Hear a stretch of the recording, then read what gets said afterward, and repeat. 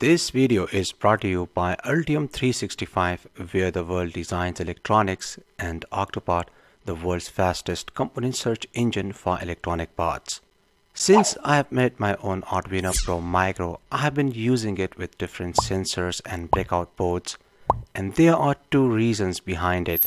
The first reason is that there are very few tutorials available for Arduino Pro Micro so I want to use it as much as possible to provide some help to those who want to use it.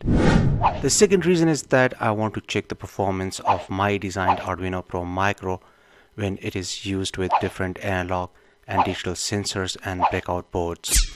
So it's going to be a long series where I will be using Arduino Pro Micro with all those sensors, breakout boards and wireless communication modules which I've been using with Arduino Uno, Arduino Nano, Raspberry Pi Pico, ESP32, ESP8266 and STM32 etc. So consider subscribing if you don't want to miss any of my upcoming tutorials. Anyway, previously I used the Arduino Pro Micro with the PN532 NFC RFID module and it worked tremendously. During the practical demonstration, I also checked it with my designed 5V and 3 amps power supply. If you want to learn how to design a professional PCB in Altium Designer, how to fix design errors in seconds, how to generate Gerber files, how to order cheap yet high quality PCBs from PCBWay, how to order your SMD components, how to place and solder tiny SMD components, how to burn a bootloader on Arduino Pro Micro, then you should watch my previous video. I have added a link in the description. Anyway, today I'm going to use the Arduino Pro Micro with the I2C supported MLX9614 non-contact infrared temperature sensor and the SSD1306 I2C supported OLED display module and I will use my designed 5 volt and 3 amps power supply to power up all the electronics.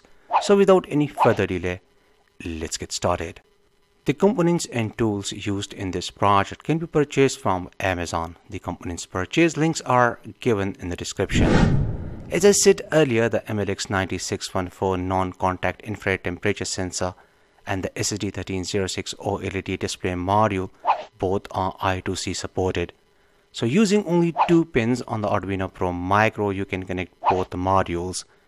As you can see, I have connected the SCL and SDA pins of the MLX9614 and the SSD1306 OLED display module to the SCL and SDA pins.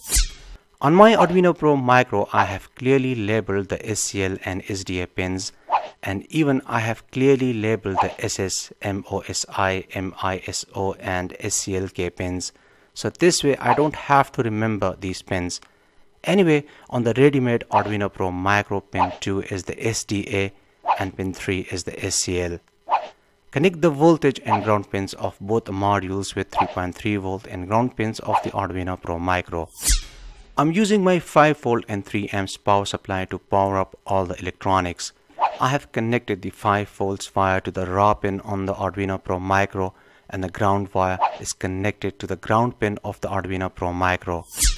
I can also use a USB cable. It really doesn't matter if you don't have such a power supply.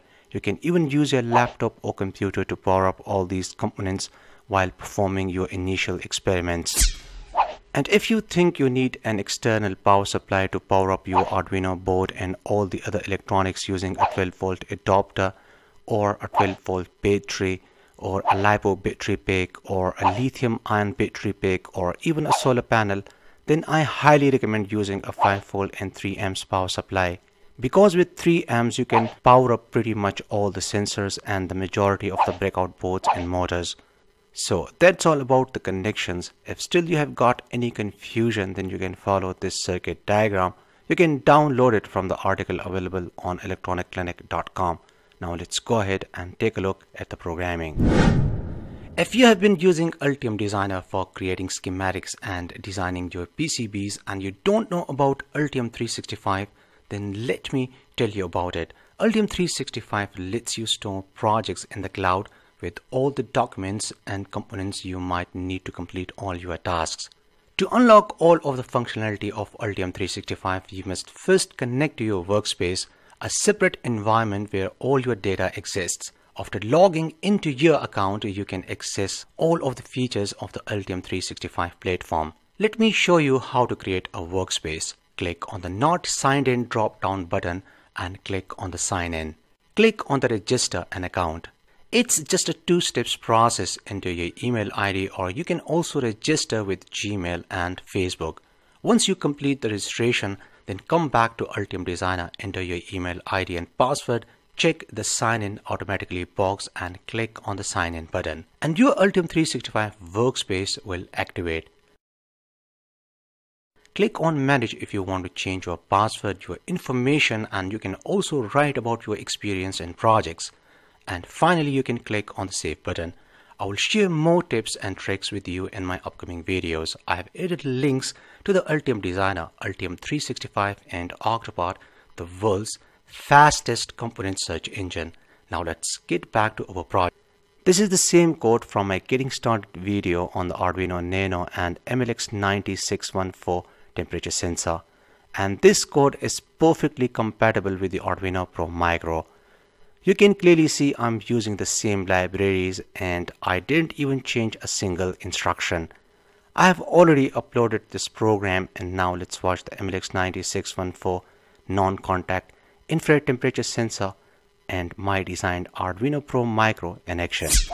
Anyway, before I'm going to start the practical demonstration, first let me tell you about the emissivity value which is usually ignored by most of the boys and girls and as a result they would get the wrong temperature values. As you know very well, the MLX9614 is a non-contact infrared temperature sensor and is completely different from those surface contact based temperature sensors. And you might also know every object or material has its own emissivity value. Let's say you are designing a contactless temperature monitoring system for COVID patients and you ignore the emissivity value of the human skin then how you're supposed to get an accurate temperature reading. During my first test, I completely ignored the emissivity value and as a result I got wrong temperature readings as I was using the standard emissivity value of 1 while in reality different objects have different emissivity values. Anyway, I calibrated the MLX 9614 temperature sensor as per the human skin and then I started getting the actual temperature readings and this way I built myself the most accurate contactless temperature monitoring system for COVID patients. So you need to watch my getting started video on the MLX9614 and Arduino. I have added a link in the description. So let's go ahead and start measuring the temperature.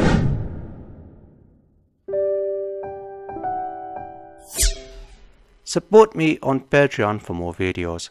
I hope you liked today's episode. Like and share this video with your friends. See you in next episode and thanks for watching.